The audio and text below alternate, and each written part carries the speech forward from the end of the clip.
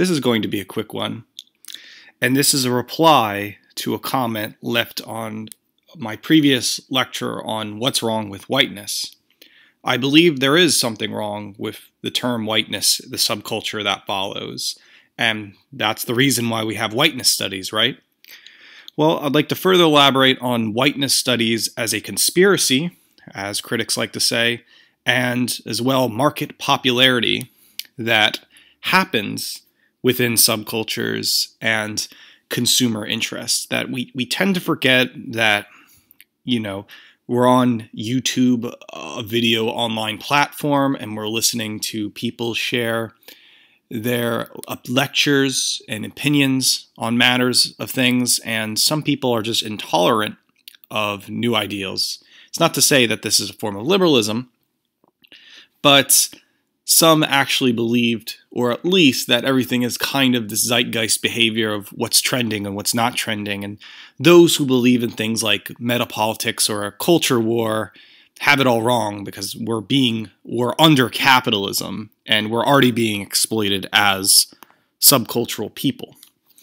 So I suggest that you stop this lecture and go listen to the previous lecture, What's Wrong with Whiteness, as I make a clear and concise argument about everything wrong with whiteness and why one should actually study and be interested in whiteness studies.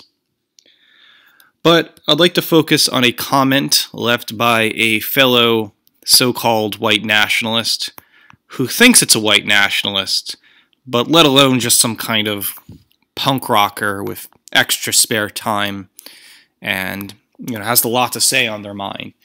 But if you read this comment, you know, he's talking about the difference between middle class values and whatnot, and he's kind of offended that white is an identity group, that it is a racial category, and that really being anti white means actually anti whiteness.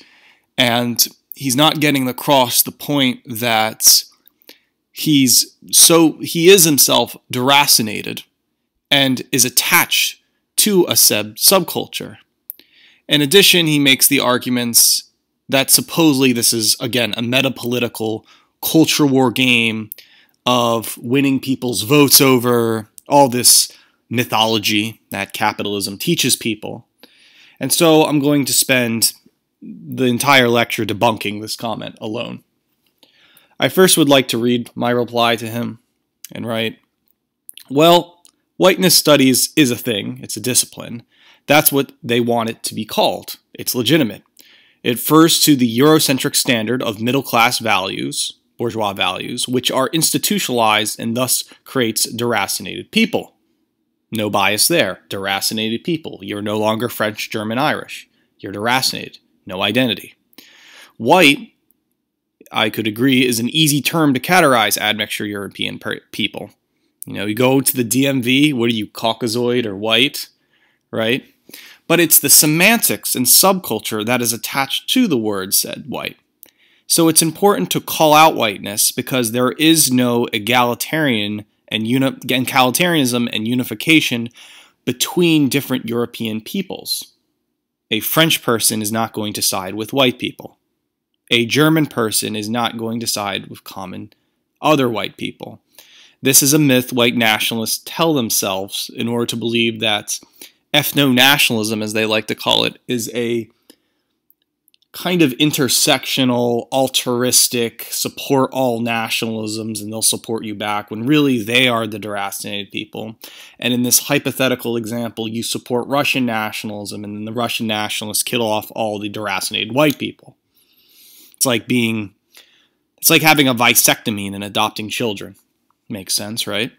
Let me repeat there is no such thing as metapolitics. No one will be unified under whiteness because of such deracination and vagueness. They will see it as a other groups who don't are not in whiteness, they will see it as a hostile identity bent on crass intellectual behavior. Suburban nationalism. You know, Brandon Adamson's alt left, who, you know, as you get that indoor joke, it already has caused much divisions, and the enemy wants it that way. The enemy wants to hear the word the white race, white people with white interests. It's very to use mean language federal, Fed stuff.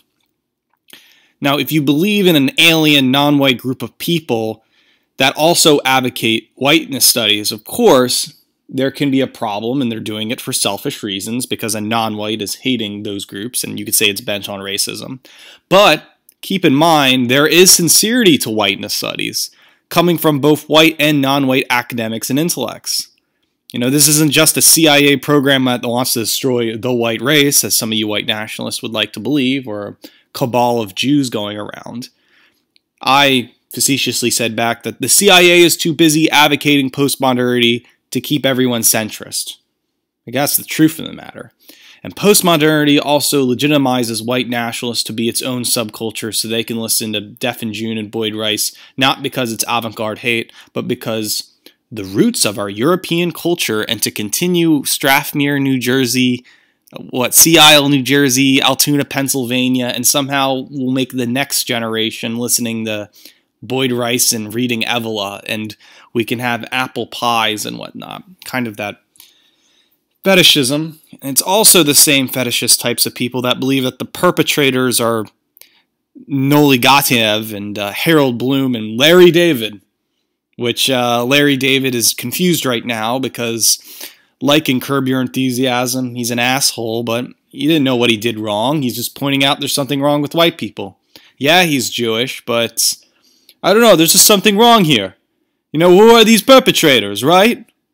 I mean, as much as I, I really dislike Harold Bloom, I could and I can make a legitimate criticism, criticism that Bloom is using his Jewish power in order to subvert Western English literature, which I strongly believe is true, does not make me an anti-Semite. I'm criticizing Jewish power structure, but there's no say all of my problems is Jewish or oh, there, this is just some Heideggerian race relations, human biodiversity, uh, social Darwinianism, where Jews are fighting against whites and blacks against whites, and whites are all ganged up in a poor interracial gangbang. And they're, and, you know, white nationalists finally want to get to the top, right? Supposedly. But again, this is just a little goofiness because all of this is just some kind of identity politic. I'm offended because you harmed my odd pole type of theory? Well, again, it's all in the semantics. I believe Greg Johnson calls himself a white nationalist, Jared Taylor a white advocate, and David Duke some time ago used to call himself a European American. These were all just trying to talk about European racial preservation, correct? But it's the word white, right? The word white nationalist seems militant, and white advocate seems like suburban nationalism, and European Americans feels like taking the richness of German engineering and French philosophy into the state of Pennsylvania, right? Maybe there is something wrong with using a bland term as a subculture and interest, right? That the word white, just like black, has that connotation of belonging to an immediate identity politic group of post ex libertarianism. I understand that the word black in America has a black race, even though they don't admit it, and all blacks are supposed to hate white people, and that is, of course, a problem. The word Nazi in white is as vague as black, Asian, and anything that falls under the neoliberal order. And maybe that anything anti white, as white nationalists like to call it, is actually not evil and maybe it's just open to criticism. That when somebody says, you know, I'm anti Jewish, you right, or Jewish power structure, anti blackness, right? May, that itself has some opposites to it, right? And every word has its own systematic history, correct? And etymology, right? And so instead of playing into the game of racial interest, maybe it's about values. And when did bourgeois and middle class values become itself a race of people? It's actually never, it did. And so, why in the world would I just be against middle class values and that I have to play this one sided game of, as Greg Johnson likes to say, everything is on the table except white extinction? And again, this is the hypocrisy of some white nationalists where they will not even realize that capitalism, out of all systems, is that real white, anti white perpetrator. But that doesn't matter because white extinction is more important. But who is creating white extinction? And so they will get this messed up and they think it's the Jews and not something that white people are doing or that whiteness. That's the whole point of whiteness studies is realizing whiteness studies is not good for anyone. But anyway, Countercurrents is already a, biased publication, as Greg Johnson has sadly been open about his hatred for Slavoj Žižek, where you think Žižek would side with the reactionary writings of Countercurrents. But again, Johnson doesn't like Žižek because he got his feelings hurt because he said the question whether the white race will survive makes him feels like he's some kind of Jewish neoliberal shill, right? and he just has hate in his heart. And he's not talking about the white race in the semantics I was previously arguing about middle class interest. Right? And there's some footnotes Johnson is not reading. You know, Johnson is also biased in the fact that he won't read Jacques Derrida because he's Jewish or something. Johnson completely lacks an entire canon of Marxist Hegelian postmodern literature. That's just not his thing. He just wants to read Christian studies and whatever. But at, you know, whenever you do do a keyword search on countercurrents on Zizek, you see nothing more than these words popping up. Um, what is it? LARPing, Jewy, uh, parentheses, oy vey. Again, these biased semantic cult of everything that, huh, everything I don't like is literally Jewish, or everything I don't like is literally Hitler, but for that matter, the Hitlerites saying everything I don't like is literally Jewish. And that itself becomes a novelty. That there's no sincere intellectualism in this. It's rather, let's take the nip in the bud. I don't want you to read this. I want you in my own cult and not be open for criticism. I don't want to read whiteness studies because it won't help our people quote unquote, and using their own jargon and semantics. They are creating walls of their own stubbornness. And besides, Countercurrents is nothing more than a capitalist enterprise, so Johnson can pay rent every month. But anyway, my on market popularity, as I was saying, to use an example here, Donald Trump openly called himself a nationalist, but as white nationalists like to prick, will he also ever call himself a white nationalist? This is ironic because politicians want any number of consumers, right? And if you think everybody's going to come on the white nationalist side for some Christian, open minded saviorism of, I'm white, let's go with semantics, stop thinking too hard about this, right? Then we'll win, right? But again, again, capitalism directly wants numbers. Metapolitics or culture war is a byproduct of accelerating technology and of postmodernity, which white nationalists completely avoid talking about. And if they do, it's some facetious flirtation and postmodernity talk. And white nats are afraid to read that because it crossovers into Marxism, and they're afraid to read that because then all of a sudden, what I just said, what's wrong with whiteness? There is something wrong with whiteness, and this is what white nationalists don't want to talk about. So, to use their jargon, the real anti white or hatred of white people, again, to use their semantics, is coming from capitalism. To create a bourgeois middle class people deracinated with that identity. Make profit, exploit a fellow man. You might as well join a cult and be in one universe.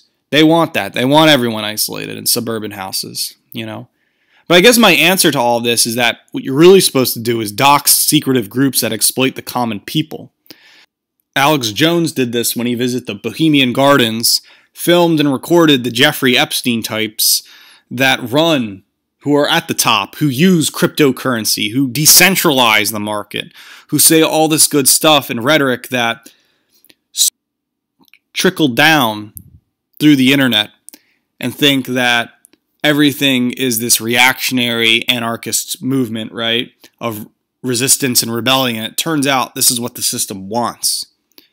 And so it's ironic that when I criticize, when I say what's wrong with whiteness, white nationalists think this is some Jewish operation. It's not true. It's just a common criticism of what's not being done. You know, the only way you can have racial preservation is if you were to have children in the family. That doesn't mean you have to go buy a house and live in middle class America, but that always follows suit. And so, again, by exposing the power structure, one could understand what's really happening to the common people, right? And calling out these cults because the real perpetrators are not this cabal of conspiratorial Jews. It's cult like people that unfortunately dwell in their own queer culture misery. So, class dismiss, and thanks for listening.